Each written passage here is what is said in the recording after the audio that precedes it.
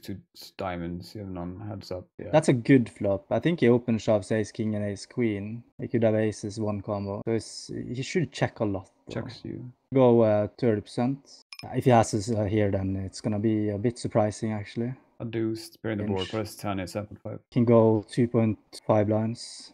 Uh, if he has kings, wanna put those into a tough spot now. And if he has some sort of ace, might be a burst ace sometimes. Uh, It's a bit strange to min raise ace king ace queen when he had like 12 lines, right?